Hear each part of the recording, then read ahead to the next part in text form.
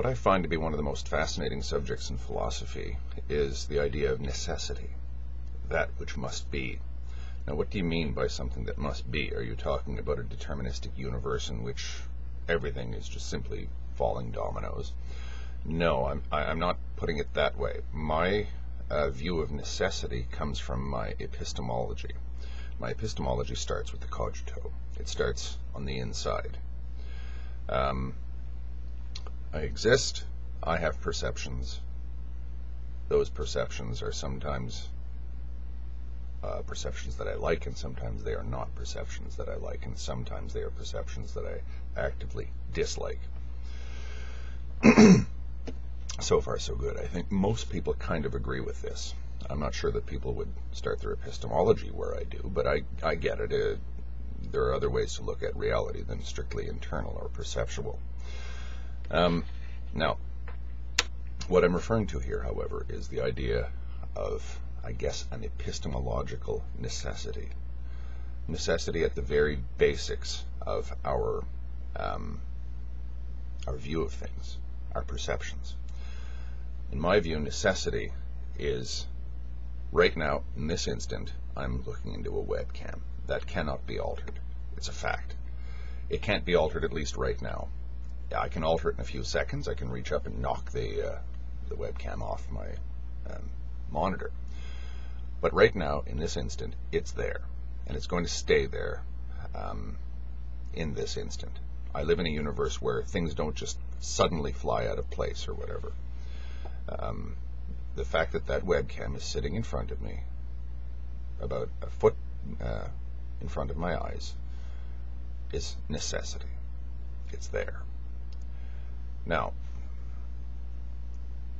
that doesn't mean that it had to be there a week ago, and it doesn't mean that it has to be there a week from now. What I am saying is, in this instant, it is necessary that it's there. Everything that comes at you at the level of perception is, in my opinion, necessity. In other words, necessity is the snapshot of the instant of perception. And I would say even before cognition takes place, necessity is that which you you perceive directly in front of you. Even if it isn't real, it may be necessity um, or necessary to assume that it's real because you simply can't ignore it. You can't just pretend like it's not there. I'm reminded of um, Krishna's injunction to Arjuna on the battlefield of Kurukshetra in the Bhagavad Gita. Um, in the despondency of Arjuna, Arjuna sort of collapses inward and can't handle the fact that he's going into this titanic battle where he's going to kill his relatives. Um, says, This is too horrible. And Krishna, in essence, says to him, Arjuna, look where you are right now. This battle is going to happen, with or without you. Do you understand that? Never mind what how things should be. This is how things are. That's necessity, right? Um, if Arjuna wanted to look back and sort of see the twists and turns of his fate or how things panned out in reality, uh, he might be able to sort of explain how he got there, but it doesn't alter the fundamental necessity of his situation. The necessity of the matter is he's there, he's standing on his chariot, he's got to do something about that. And there's massive armies arrayed against each other, and he's a commander of one of those armies. He's stuck with it. That's just the way it is. Any time to sort of rebel against this possibility was is now gone, even if it was five minutes ago. You're there now. You have to react to it. Which is kind of interesting. Like I've heard it described this way that, that Krishna telling Arjuna what necessity is is sort of a dialogue that takes place at the very heart of anything that ever happens to anybody. Ever. Necessity is where you are now, is what you see now. You may have caused it all, but there's no reason for you to say that this was absolutely inevitable, I suppose, or that it's anyone's fault. Because the only time that you can actually invoke any sort of volition is in the present moment. I can't alter the past, and I can't alter the future if it truly is the future. Um, that's Epictetus, right? There are things that are in your control and things that are not in your control. Um, I can't control what other people think. I can't control the fact that I'm on Earth. I can't control the fact that Donald Trump is president. I can't control the fact that all these things I'm stuck with, at least in this instant. but I seem to be able to have some control over over how I perceive it. Um, but again, I'm not saying that there is free will, and I'm not saying that we live in a purely determined universe. I'm simply, I, I find the free will versus determinism thing to be sort of an incomplete or a very misleading dichotomy. Um, I think that uh, it has more to do with how Epictetus describes it that which is in your control and that which is not in your control, or that which is unavoidable and that which is alterable. Um, now, what interests me in this is um, how it may impact certain ideas um, that are presently being discussed um, in, you know, this group or this thread or whatever. Um, solipsism. Now, how do you deal with solipsism? I would say that solipsism is only sort of to be transcended as opposed to refuted, because I don't think one can refute it. But again, I, I don't require the three logical, um, three classic rules of logic um, identity, non contradiction, and the excluded middle. I don't mind apparent contradictions. Um, I don't mind um, apparent um, inconsistencies or in uh, inherent half truths or whatever, or apparent half truths rather. None of this bothers me. so it doesn't matter ultimately if I am a brain in a vat. Um, because the reality that I deal with, the necessity of it all, seems to indicate that brain in the vat or not, the impulses that I'm being fed from the outside world matter to me.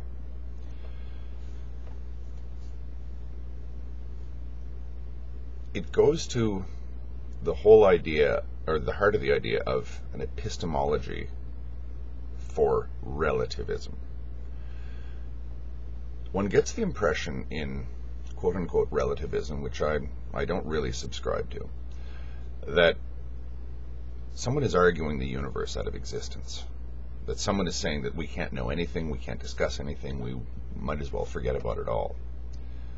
Um, no, because when you look at solipsism in a certain way, it does seem to sort of transcend itself.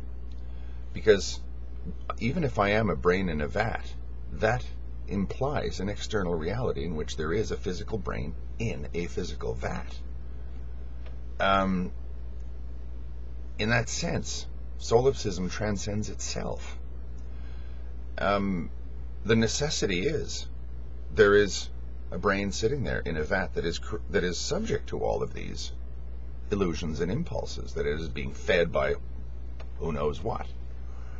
Um, it's you know it, you end up just in a sort of turtles all the way down sort of situation or infinite regression or whatever um, all you can do is just sort of continually widen your perspective.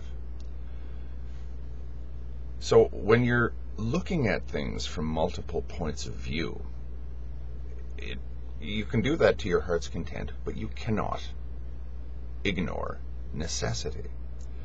Because even if that which is necessary, even if it isn't real, it's still necessary.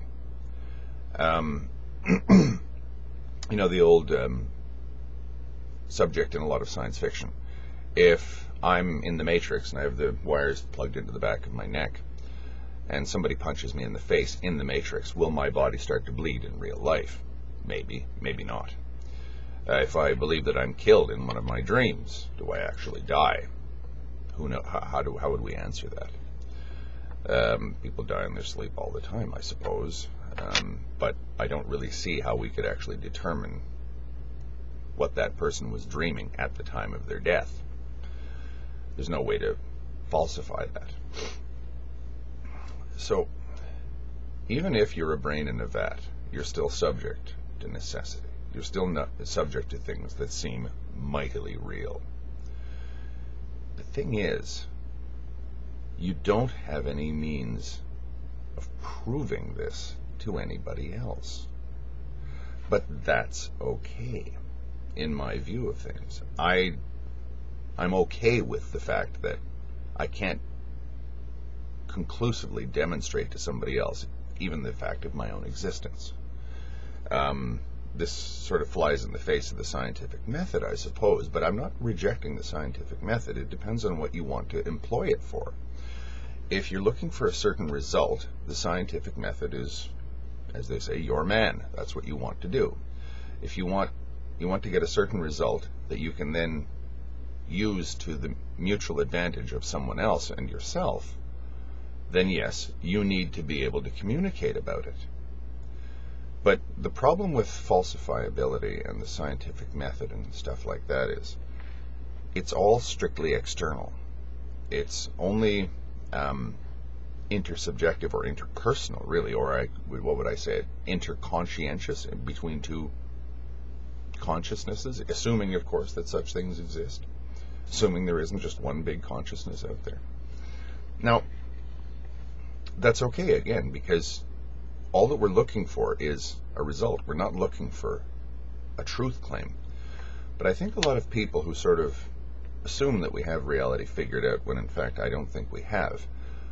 A lot of people sort of say, well, there, the scientific method is the best way to describe everything because we can replicate the results, we can falsify things, etc., etc.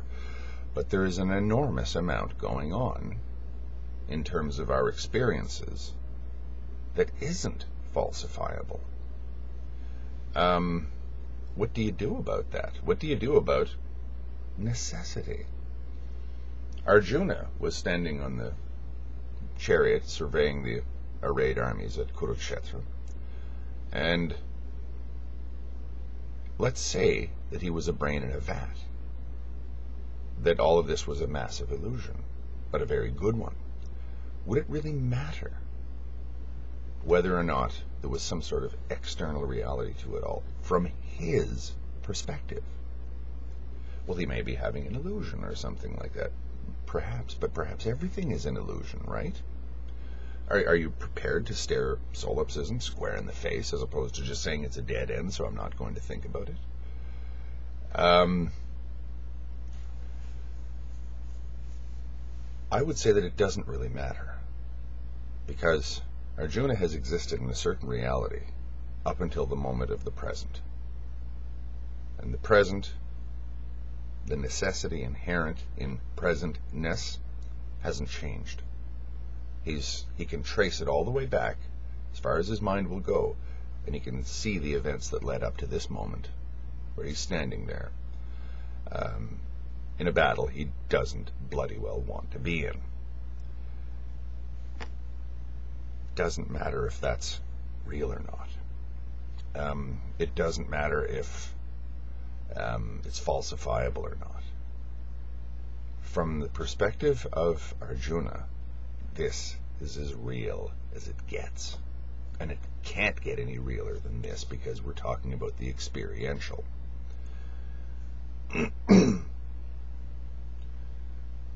So, what does this do to ideas of free will versus determinism? Um, as I say, I'm kind of a non cognitivist on the whole thing because, in some cases, free will and determinism end up in a sort of, I wouldn't even call it compatibilism, they seem to end up in some sort of synthesis. Because the internal is in my control, the external isn't. The internal is me, is my reaction to the external. That's all. The external is there. I might not know exactly what it is, and I might not be able to agree with everybody else exactly what it is. But from the from the uh, perspective of my experiences, it's real, and experience is all I have. So you, you don't necessarily have to disprove or refute solipsism. um, if you take into consideration the idea of necessity, the idea of perception in the moment of perception. Um, I don't think I can disprove anything in the moment. I don't think I can somehow deny that I'm staring into the webcam because every ounce of evidence that I have says that it is happening right now. Um, whether or not it is happening is irrelevant at this moment. So, necessity and solipsism and free will determinism, and I would even say things like atheism versus theism or whatever, um, essentially means to act or not to act, or to believe, or I shouldn't say believe, but act in accordance with necessity or not act in accordance with necessity. Arjuna had the option of not acting in accordance with necessity. He dropped his weapons and fell down and you know sank down in his chariot and sat there and despaired. That's refusing to act in accordance with necessity. We can do it. Um, you ever seen someone in a state of severe depression?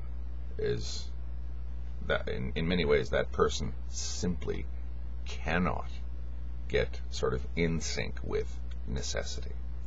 They are overwhelmed by the reality of the present instant. So, what would be freedom in that case? What would be the closest we can get to free will? I would assume that that would be when you are acting in accordance with necessity. In Epictetus's sense, you are acting in accordance with that which you cannot control. Here's Nietzsche. Artists have here perhaps a finer intuition.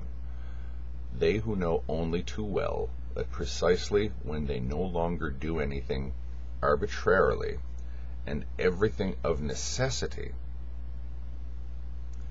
their feeling of freedom, of subtlety, of power, of creatively fixing, disposing, and shaping reaches its climax. In short, that necessity and freedom of will are then the same thing with them. Now, there's elements of amor fati in there, right? If I make it my own, I have, you know, or if I love something, I have made it my own. If I don't just accept my fate, which apparently is what Epictetus would have us do, but according to Nietzsche, love your fate, then you haven't simply said, this means nothing to me and it won't affect me. You're actually taking control of it. If you act strictly in accordance with necessity, you become utterly free. That was the paradox of the Bhagavad Gita, of course. Krishna was trying to get Arjuna to see how necessity and whatever feelings, experiences, shall we say, experiences of freedom, of happiness, of joy, of ataraxia, uh, you have can be meshed together, where you can be in a state of ataraxia, to use the Western term, the closest thing the, we, the ancient Greeks had to our word happiness, which is kind of misleading, but anyway. You are at your best. You are at your best and your most, um, or I am at my best and most myself, I guess is a better way to describe it because I'm talking about the perceptual level here.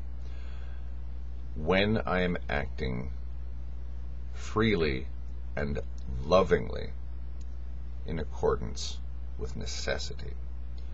Now that's all very well to say this, but I can I can think of few things more difficult to actually pull off. How do you love what is ne- necessary all the time? Um, Nietzsche, Nietzsche goes to far, so far as to say that he believes that that's the model for human greatness, is your ability to love that which is necessary. And again, that's what the Gita says. Arjuna is, uh, is told, love your fate. You're born into the warrior caste, go be one. Um, I know it's not nice that you have to do all these horrible things, but you have to do these horrible things. That's necessity. Um, and you have to understand necessity at the perceptual level, not at the external kind of level. talking about the level where things are coming at you in real time right now. Um, to revisit an old metaphor, imagine that your perception of time is viewed from the point of view of someone inside of a moving car going up a street. Normally, we're looking backward through the rear window of the car, watching reality go by us like this. That is a form of cognition that is heavily anchored in the past, and the present really isn't so important. True perception would be if you turned your head around and looked over the driver's shoulder through the windshield and saw things coming right at you without any um, anchors from the past to make any sense of it. That is pure perception. That to me is necessity. That which you experience at the experiential level, if I dare say such a thing, is necessity. I'm not saying that, you know, that you can't sort of warp this if you want to. You can say, well, this is necessary, so I'm going to do it as a sort of a rationale for what you're planning on doing, where you've put an idea together. But your input is not necessity itself. Your input is your ego. So, the ego is not external to me. The ego is part of what I am, or arguably, at least the ego is internal. It's not taking place outside of whatever I happen to be, the totality of what I happen to be. Um, so you've got necessity and you've got a desire to be free. I think that these two can be made to be made to work in synthesis. And I think this is what, what Nietzsche implies. He's not talking about compatibilism here. He's talking about desire and necessity acting in complete harmony to the point where they are one and the same thing. Again, a massively tall order. But uh, again, didn't he say that's what greatness is?